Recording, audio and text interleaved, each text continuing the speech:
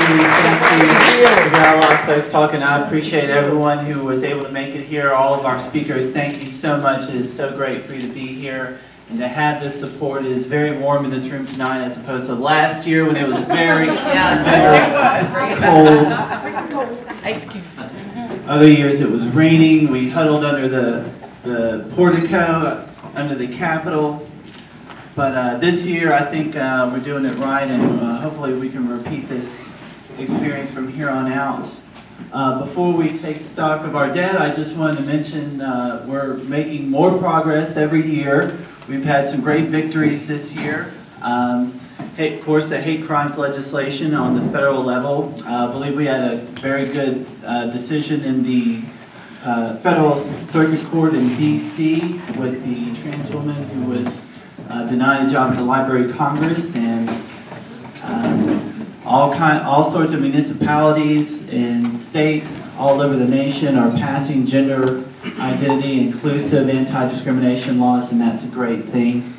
And even across the street, we had the situation with Vandy Beth Glenn, who was fired when she transitioned. Uh, I was reading some of the deposition, uh, reading about some of the depositions the other day in the paper, and it looks like uh, we're on our way to uh, some very positive case law here in the 11th Circuit.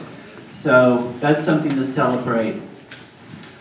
But of course, we're here because every year, too many transgender individuals and gender nonconforming individuals, both here in the United States and worldwide, are, are subject to violence and murder. And it's been a terrible, terrible year in Latin America this year. It's been a terrible, terrible year in South America this year, in addition to the United States.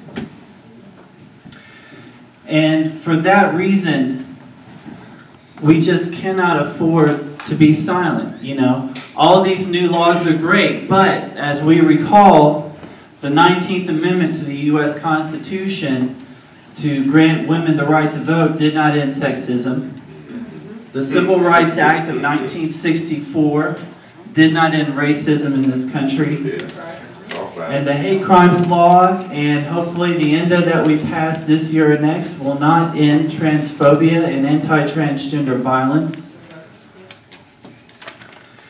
So it is for us, the living, to become visible because if we don't stand up in our hometowns in middle Georgia and south Georgia in the mountains to be counted, we're not going to make any progress. When, when President Ahmadinejad of Iran came to the United States recently, he made the assertion that there were no gays in Iran. Well, that's absurd. And everybody knew that was absurd.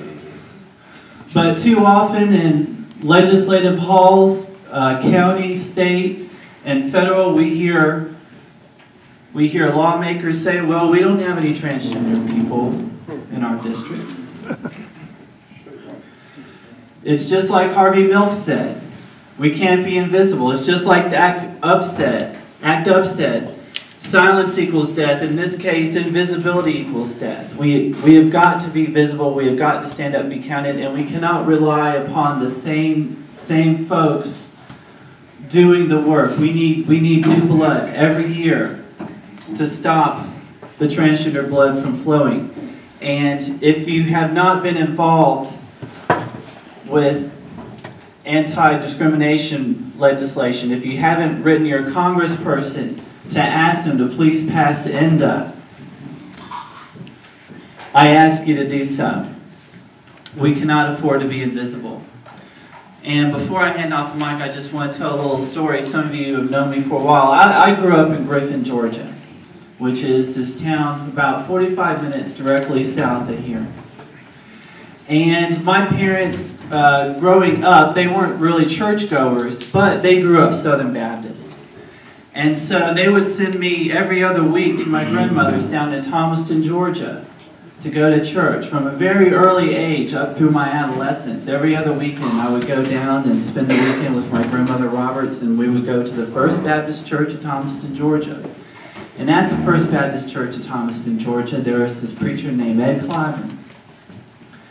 Truly a man of God, if there ever was one. Reverend Ed Clyburn said the kindest things about my grandmother at her funeral seven years ago. Several years ago, I'm sorry, it was 2005. And, and it, was the first time, because he had been retired for several years, and it was the first time he had, he had seen me in years and years and years and years and years. And he always likes, and he knew me because he always liked, liked telling this little story about how when I was seven years old, and at the end of every Southern Baptist service, the preacher will get off the podium and ask everyone to come up and, and accept Jesus into their life and be saved. And, and I was at church sitting with my grandmother, and she would give me a little prize if I was good in church every Sunday. And there was only one time I never got that little prize, and that was that Sunday. I had to use the bathroom so bad. So when Reverend Ann Clyburn came down and asked people to come to God, I just could not wait. I got up and walked down that aisle, and he says, Oh, here comes little Jamie to give his life to God. And I just looked up and said, oh, I've got to use the bathroom. exactly. The whole auditorium just burst out in laughter. My grandmother Roberts was mortified. That was the only Sunday I never got my prize. So, so he told that story at the reception after my grandmother's funeral in Thomaston, Georgia. And then after he finished, he goes, so, so where is little Jamie?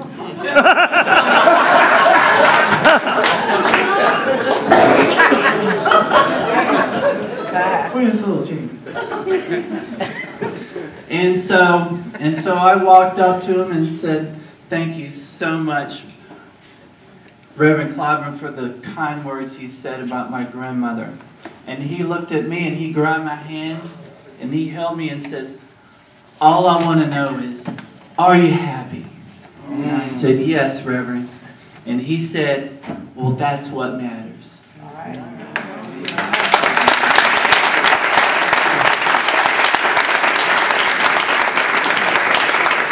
So I just want to share that little story and pass the mic on. Thank you so much again for being here. Bless you all.